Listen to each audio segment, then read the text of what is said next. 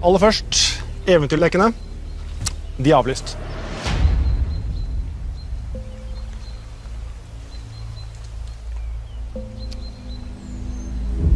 For 100 år siden så herja det en pandemi i landet. Nå i 2020 har vi en tilsvarende situasjon med covid-19. Derfor har vi hatt veldig strenge regler for å unngå smitte på gården. Og de reglene de har noen av dere brutt. Dere har forlatt gården, dere har oppsøkt andre gårder. Dere har hatt kontakt med utenforstående. Dere har mottatt mat og drikke. Og dere har med det utsatt gården for risiko. Farmen det er ikke et fengsel. Det er tusenvis av søkere som dere har plukka ut blant. Dere er her egen frivillige. Skjønner dere det? Ja. Så nå kommer jeg til å spørre dere, og nå skal dere være ærlige. Hvem her har forlatt gården og hatt kontakt med utenforstående?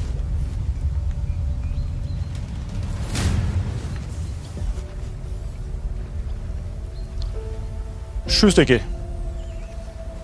På andre siden av eh, sjøen for uh, Samsjø gård så ligger det et hyttefelt. Eh, hvorpå vi en kveld var ute og badet, eh, og vi så lys i den ene av hyttene. Eh, og desperasjonen i oss eh, gjorde den dumme beslutningen om at her er vi nødt til å ro bort for å se om vi kan få kontakt med mennesker.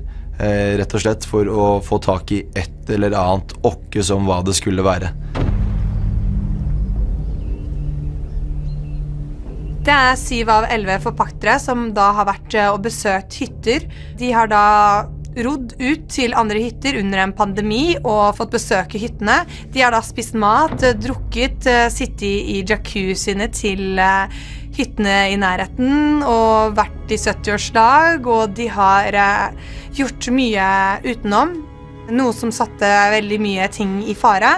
Spesielt for oss fire som ikke gjorde noen ting, og hadde heller ikke vært med på eller spiste noe av det de hadde fått. Det er ganske kjipt at noen kan sette oss i en slik eh, fare. Det er sju stykker som har gjort det, og det er fire som ikke har forlatt gården og hatt kontakt med utenforstående. Stemmer det? Ja. Skjønner dere hvor alvorlig det er? Ja. Vi har forstått det nå. Altså, de har virkelig vært på tur, ikke sant. Fire-fem ganger. Det er veldig ugreit. Jeg syns det. Det som har skjedd nå, det må få konsekvenser. Det vi kommer til å gjøre, det er følgende. En av dere sju skal forlate gården i dag. Oi, shit. Hvem det blir, det bestemmer dere. Men det skal skje gjennom en konkurranse. Hva slags konkurranse, det er opp til dere å finne ut av. Er det forstått? Det er forstått. Ja. Da går jeg nå, og så står jeg på porten og venter på en av dere sju. Ja, sånn er det. Ja. Skal vi gjøre det med master, vi, stein, saks, vi fire som ikke er med på det, trekker unna, tror jeg. Det jeg Eirik ikke kalt opp med nok. Slapp av litt nå. Ta det litt med ro. Vi må bare ta konsekvensen av hva vi har drevet med. Ja da. Det er, Ja, men hva faen skal én få konsekvenser av det Ja, ja. alle i- på den jævla gården har driver med? Det er jo helt sjukt. Hva faen skal man velge det? Vi har gjort akkurat det samme alle sammen, uavhengig om man har gjort det 70 ganger eller én. Det er jo helt sjukt. Når Matt sier at en av eh, oss syv må ryke, så håper jeg han tuller. Tenker at det, det er det mest urettferdige som på en måte kan skje da, når man er syv skyldige, at én skal ta støyten. Da må jeg dra. Å, herregud. Det. Er det noen som melder seg over? William? Altså, Nei, jeg Nei, Nils, jeg kan ta- nei, Nils, Jo da, jeg kan ta en for nei, laget. Ja, jeg mener det. Jeg- tar en for dere. Jo da. Helt det her, du. Helt det her, du. Helt rolig her, du. Hva slags opplegg er det her, egentlig? Jeg gjør det. Men ønsker du å reise, eller? Nei, altså, jeg tar en for dere. Nei, Nils, nei, sånn Nils. ikke. Jo da, vi gjør det. Jo da, vi gjør det, vi gjør det sånn. Sånn gjør vi ikke. Nei, nei. Hvis du, hvis du vil hjem, så kan du reise hjem. Hør, hør. Dere er unge. Dere er unge, alle. Det har ingenting med saken å gjøre. Ja, men jeg tar en for laget. Nå er det ingen som sier nei. Gå og snakk til deg. Nei, fy søren. Dette syns jeg noe Dette er ikke rettferdig i det hele tatt. Jeg kan ikke utsette dere for det her. Jo, Nils. Nei da. Jeg tar det. Jeg tar den her på. Dere fortjener, alle dere fortjener å være her. Absolutt ikke. Absolutt ikke. Jeg synes jeg, vet du, hva, Kan de leve med det, liksom? Dere tar Ta en kamp! kamp! Ja, Nils, dette her syns jeg faktisk ingenting om. Sindre, Kom igjen, Sindre. du kan ikke stå og se, Ja, men du kan ikke se på det her. at ikke det er greit. Jeg sier jo jeg òg. Jeg vil jo ha en rettferdig konkurranse. Ja, men ta en konkurranse. da. Ja, jeg sier jo det òg. Har dere ikke tenkt å gjøre noe med det her? Jo, men jeg sier jo at vi skal kaste øks. Ja, men det Jeg var ikke flere der. er søren, det der gjør dere Kan ikke gjøre noe, jeg. Nei, vet du hva, Nils, det er Nei. Glem det. Det blir ikke aktuelt. Dere er fantastiske mennesker alle sammen, så jeg tar, jeg tar den her. Jeg tar den, gutta. Du er det vi virkelig trenger her, Nils. Nils, kom her. Nei da. Jo, kom an. Nils,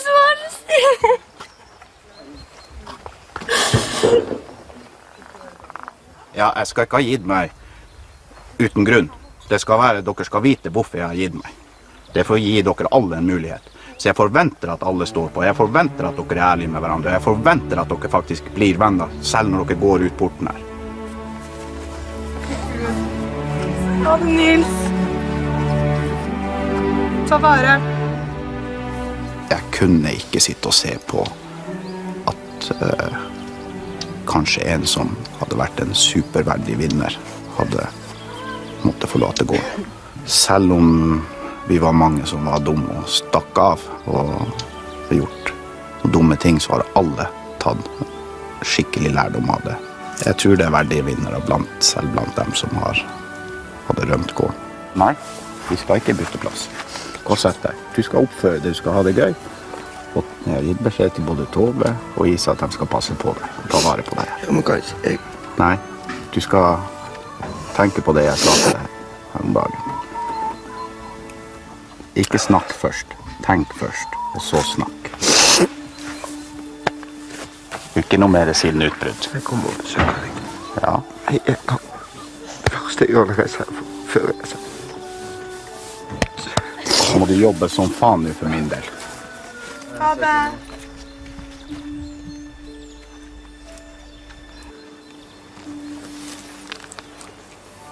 Ja, Nils.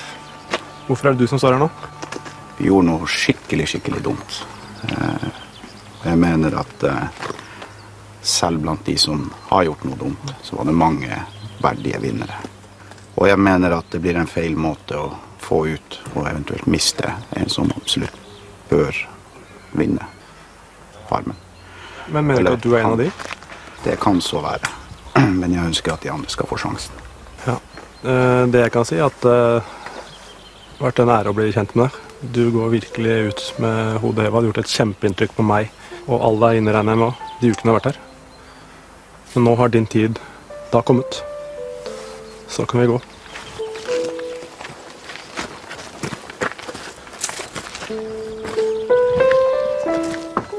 Det er beintøft å måtte forlate alle her. Det er beintøft å måtte forlate den fantastiske gjengen. Det er beintøft å forlate gården. Jeg kommer til å savne alle her.